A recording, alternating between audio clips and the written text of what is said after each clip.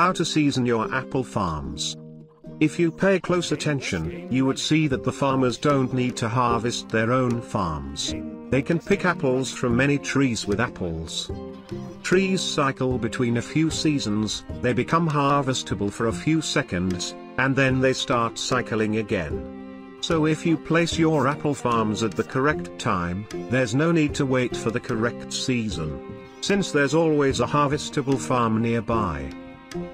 Here's how you do it. You place down one apple farm. And then you need to wait for the trees to turn green. Once they're green, you can place down your next apple farm. To make sure you've done it correctly, you can place down a third apple farm a few seconds after placing down the second one. Now your farmers should have no downtime, so to improve this you can either do the infinite farmer glitch, or place down more apple farms to increase the farmers. Either way they now start working at maximum efficiency. Now you know everything about apple farm seasons, I hope this was helpful.